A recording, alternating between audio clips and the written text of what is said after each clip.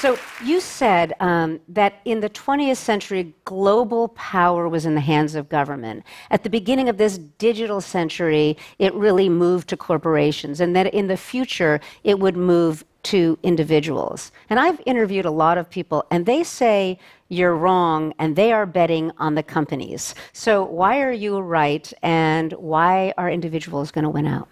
Because companies cater to individuals. And we, as the citizenry, need to start understanding that we have a big role in shaping how the world will be governed moving forward. Yes, indeed, the tug of war right now is between governments who lost much of their power to companies because the internet is not built around the nation state system around which governments have power. The internet is transnational, it's not international, and it's not national.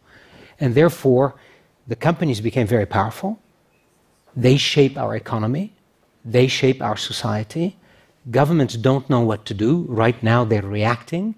And I fear that if we do not, as the citizenry, which are, in my opinion, the most important leg of that stool, don't take our role, then you are right. The detractors or the people telling you that businesses will prevail are right. It will happen. So, are you saying that individuals will force businesses or businesses will be forced to be responsive, or as, are, there, are there a fear that they won't be? I think they will be. Look at two weeks ago, a small company called Skip winning over Uber and Lyft and everyone to actually get the license for uh, the San Francisco scooter business. And if you read why did Skip win, because Skip listened to the people of San Francisco who were tired of scooters being thrown everywhere and actually went to the city and said, We will deploy the service, but we will respond to the people's requirements that we organize ourselves around a set of rules. They self governed their behavior and they won the contract over some very powerful companies. So, speaking of guidelines and, and self governance, you know, you've spent an entire lifetime creating guidelines and norms for the internet. Um, do you think those days are over? Who is going to guide, who is going to control, and who is going to create those norms? The rules that govern the technology layers of the internet are now well put in place. And I was very busy for a few years setting those rules around the part of the internet that makes the internet one network. The domain name system, the IP numbers, all of that is in place. However, as we get now into the upper layers of the internet, the issues that affect me and you every day, privacy, security, etc., the, the system to create norms for those, unfortunately, is not in place. So we do have an issue. We have a system of cooperation and governance that really needs to be created right now so that companies, governments, and the citizenry can agree how this new digital world is going to advance. So, so what gives a digital company any incentive? Let's say Facebook comes to mind. They would say they have their users' best interests at heart, but I think a lot of people would disagree with that. It's been very difficult to watch how tech companies have reacted to the citizenry's response to their technologies. And some of them, two, three years ago, basically dismissed it. The word that I heard in many boardrooms is we're just a technology platform. It's not my issue if my technology platform causes families to go kill their girls in Pakistan. It's not my issue. It's their problem. I just have a technology platform. Now, I think we're now entering a stage where companies are starting to realize this is no longer sustainable and they're starting to see the pushback that's coming from people, users, citizens, but also governments that are starting to say this cannot be. So I think there is a um, immaturity that is starting to set, especially in that Silicon Valley area, where people are beginning to say, we have a role. So when I speak to these leaders, I say, look, you could be the CEO, a very successful CEO of a company, but you could also be a steward, and that's the key word. You could be a steward of the power you have to shape the lives and the economies of billions of people. Which one do you want to be? Well, and the answer is it's not one or the other.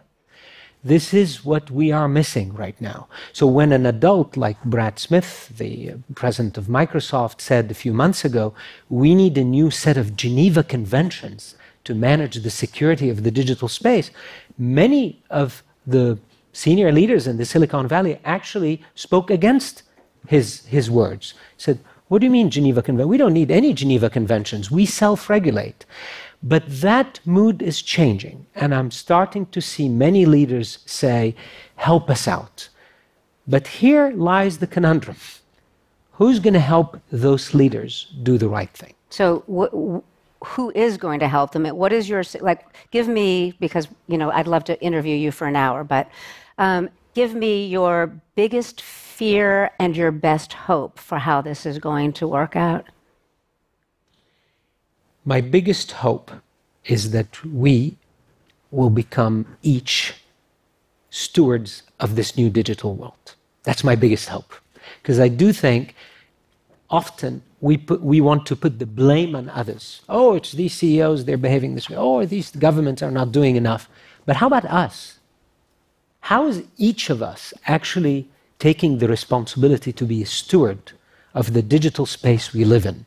I mean, one of the things I've been pushing on university presidents is we need every engineering and science and computer science student who's about to write the next line of code or design the next IoT device to actually have in them a sense of responsibility and stewardship to towards what they're building. So I suggested we create a new oath, like the Hippocratic Oath, so that every student entering an engineering program takes a technocratic oath or a wisdom oath or some oath of commitment to the rest of us. That's my best hope, is that we all rise. Because governments and businesses will fight over this power game.